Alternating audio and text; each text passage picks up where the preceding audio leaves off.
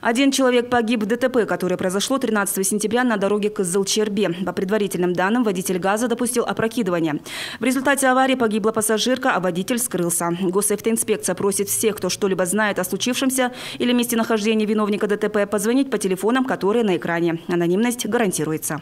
Госкомохотнадзор Тувы подвел промежуточные итоги своей деятельности за 8 месяцев текущего года. Так, за январь-август инспекторами ведомства в ходе оперативно-рейдовых мероприятий было выявлено около 400 административных правонарушений в области охраны и использования объектов животного мира и среды их обитания. Это не соблюдение правил охоты и рыболовства. Совсем недавно у нас э, кончилось э, уголовное дело по факту э, незаконной охоты добычей двух особей косули в Тандынском районе.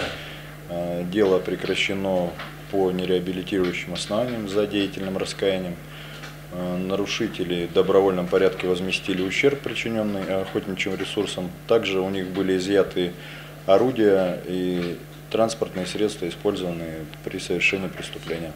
Сегодня площадь общедоступных угодий в Туве более 17 миллионов гектаров. Как показала статистика, наиболее излюбленными местами охоты браконьеров стали Пихемский, Толжинский и Кахемский районы. Выявлены факты незаконной добычи 10 особей сибирской косули, двух зайцев и одного глухаря. Изъято 29 единиц огнестрельного оружия, из них 19 нарезных стволов. Как отмечают специалисты Госкомохотнадзора, в настоящий момент ведется работа по переизданию Красной книги республики.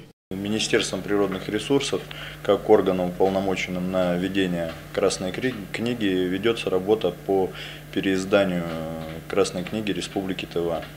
Вот. Э, что могу отметить, что имеются как положительные тенденции, связанные с тем, чтобы некоторые виды э, животных и растений исключить из Красной книги Республики Тыва, так и имеются э, основания для включения некоторых из видов Э, в Красную книгу, наоборот, Республики Тыва.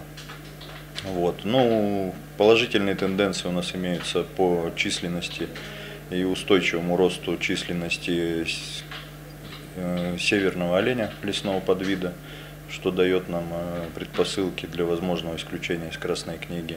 Впереди у инспекторов Тувы много работы. Начался осенне-зимний, самый продолжительный сезон охоты.